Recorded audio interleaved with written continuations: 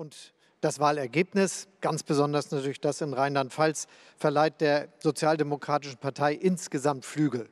Und wir wollen den Aufwind nutzen, der damit verbunden ist und dazu beitragen, dass wir eine künftige Bundesregierung führen können und den Kanzler der Bundesrepublik Deutschland stellen. Dass das möglich ist, das ist heute sichtbar geworden und das ist gestern sichtbar geworden bei den Wahlen. Denn es ist klar, es gibt Mehrheiten diesseits der Union. Es ist möglich, ein Land zu regieren. Es ist möglich, Deutschland zu regieren, ohne dass die CDU, CSU an der Regierung beteiligt sind.